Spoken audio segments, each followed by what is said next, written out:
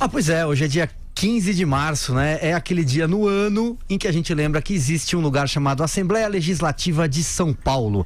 Os deputados estaduais tomaram posse hoje. E o deputado Cauê Macris, do PSDB, foi reeleito presidente da Assembleia. Ele derrotou os candidatos a Janaína Pascoal, do PSL, é, da autora né, do pedido de impeachment da presidente Dilma Rousseff, o Daniel José, do Partido Novo, e a Mônica Seixas, que concorria pelo PSOL. Antes da eleição, como eu disse agora há pouco, pouco os deputados estaduais tomaram posse. A Assembleia de São Paulo é a única na qual os deputados estaduais tomam posse no dia 15 de março. E aí, hein, Vera Magalhães, essa casa que custa 1,3 bilhão de reais por ano e a casa do corredor vazio.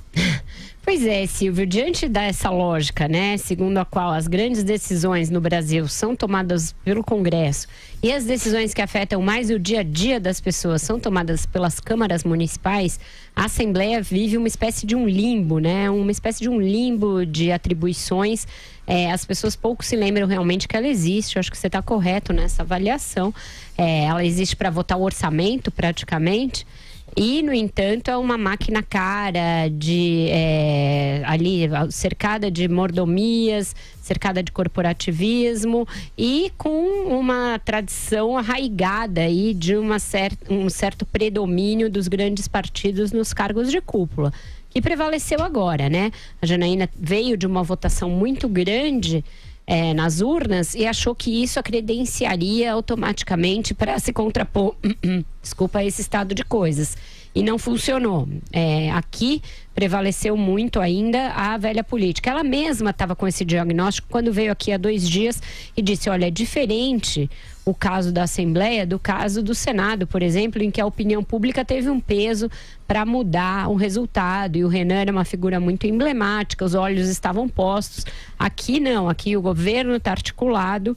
É, então, esse é um jeito da gente ver, o jeito de ver que prevaleceu a velha política. Agora, do ponto de vista do governador, por exemplo, do João Dória, ele vai ter um caminho amplamente facilitado com isso que aconteceu. Ele organizou muito bem a eleição, organizou uma base é, para ter essa vitória. O acordo com o PT é algo que é feito quando o maior partido é, se vale ali da proporcionalidade para distribuir os cargos, então isso foi feito e prevaleceu, e o Dória vai ter a vida facilitada para passar os seus projetos de privatização, etc, etc. A gente vai poder discutir, ele se rendeu à velha política ou ele fez política? Acho que essa é uma discussão virtuosa. É, tudo bem, o Cauê Macris é alguém que tem vários escândalos ligados assim, fez um acordo com o PT, algo que para o eleitor mais de direito, o eleitor do Dória, é algo inconcebível. Mas partamos do princípio que ele não é, fizesse esse acordo e não tivesse o controle da Assembleia. O que seria o governo dele? É difícil é, equacionar essas coisas quando você tem é, um regime no Brasil que é presidencialista é, no comando e, portanto, presidencialista, entre aspas, também nos governos estaduais, e você precisa ter um controle do legislativo para governar. É, então, se a gente quer repensar é, esse tipo de coalizão, tem de começar repensando o, a representação parlamentar. Pensar num parlamentarismo, pensar em algo um pouco diferente. Nos moldes em que as coisas funcionam hoje, para o Dória, esse resultado hoje da eleição da Assembleia é um resultado positivo. E, aliás, diga-se, eh, o Palácio estava com a conta exata do que ia acontecer. Ontem, quando eu falei com o Palácio, era o Cauê Macris vai ter 70 votos. Bingo, pá, 70 votos.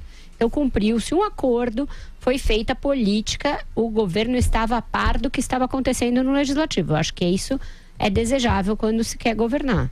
Ao contrário de Brasília, o Dória está com a base na mão, redondinha. Você, Joel?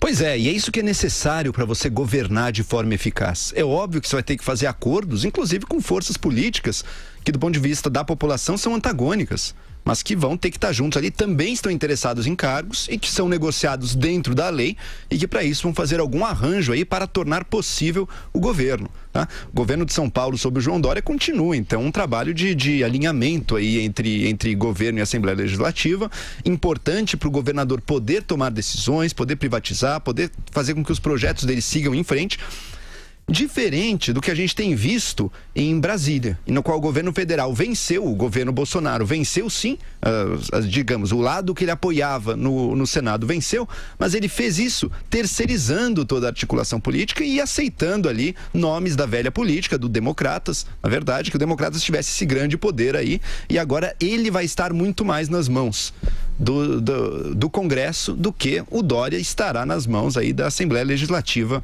aí do seu estado a nova política precisa entender a realidade da política eterna, da política como ela é. Não adianta você ter tido um grande respaldo popular, chegar aí como uma recordista de votos, que você terá votos também dentro da Assembleia Legislativa, que são outros representantes do povo, tão representantes quanto você. O número de votos ali não importa mais nada.